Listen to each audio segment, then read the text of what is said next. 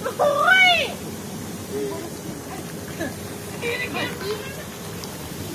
ah! That scared me! Did you see what he did? Having a little fun at Ron's tonight. Made him make dinner. Of course, we brought everything, but yeah, he made dinner. It was good.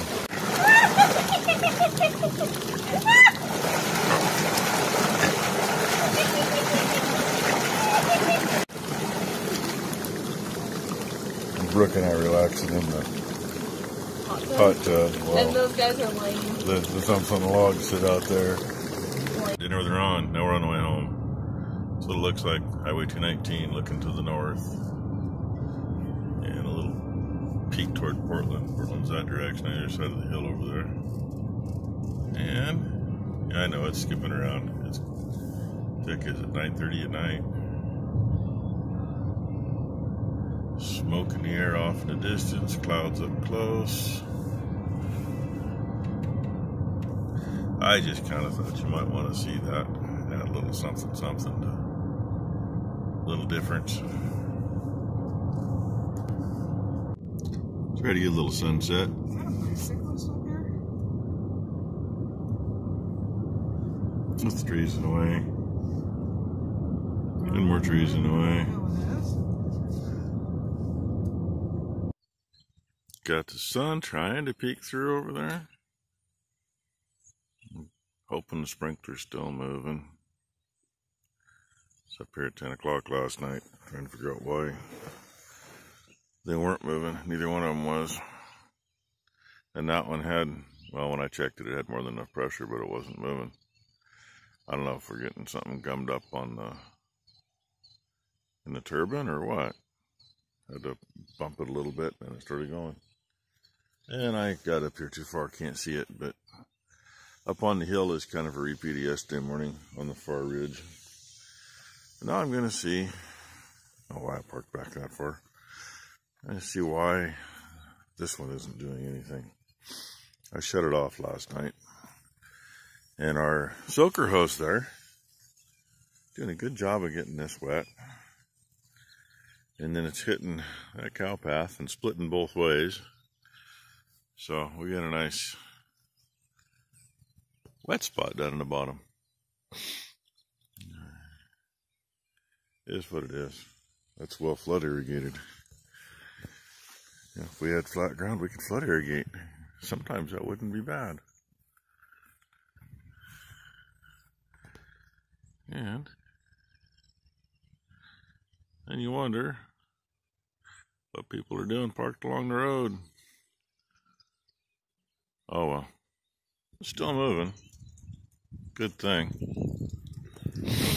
I got totally soaked trying to work on that one. Do something with that soaker hose and yeah, you can see up there. It's raining on top. Being it's raining that direction and over that way, it might come through here. Uh, that one, I think the belt is too stretched out. I've never been able to figure how they run it because there's no adjustment to the belt because nothing can move. Everything's mounted solid to the frame. So I guess we got to try to find a new belt. That ought to be fun because it's a little tiny flat belt, about 5 eighths of an inch wide. And the vehicle parked along the road ain't along the road, it's actually in the field over there. Why? Because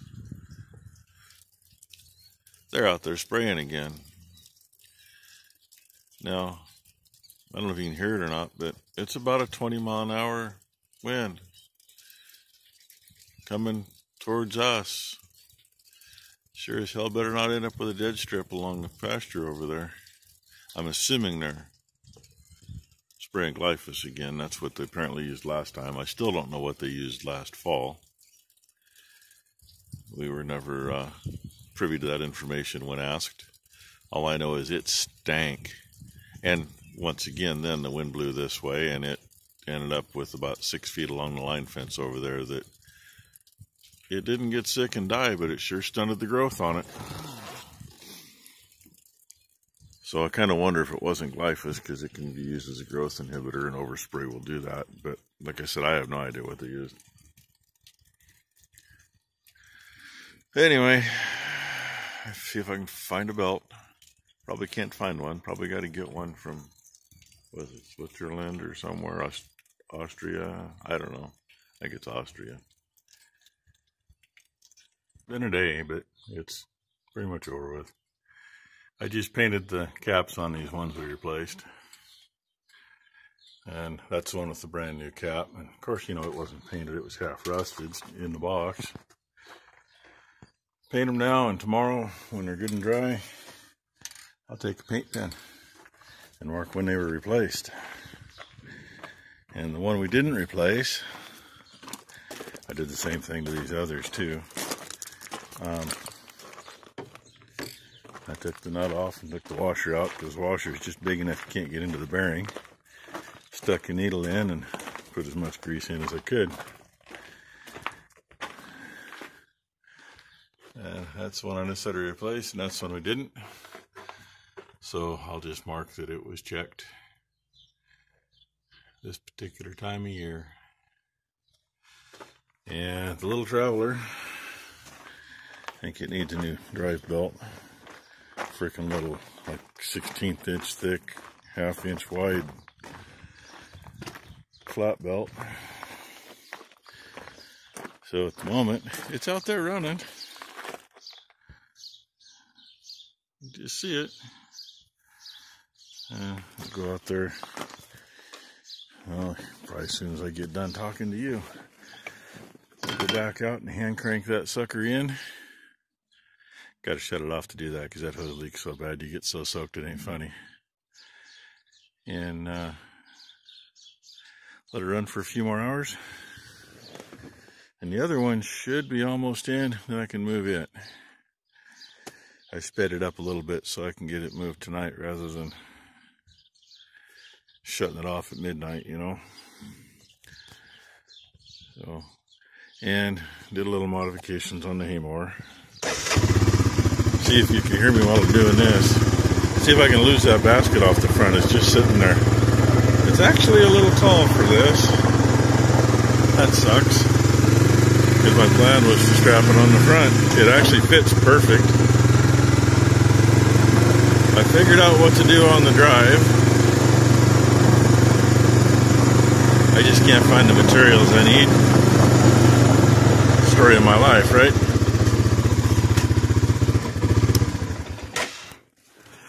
Can't win for losing with that kind of stuff. But another issue we had was the flap lever. You're supposed to be able to easily move it. It's all the higher I can go with it at the moment, but it's supposed to move easy like that. There's a bushing inside there. That sucker was so solid it wasn't funny. I had to drive it out with a short handle sledge.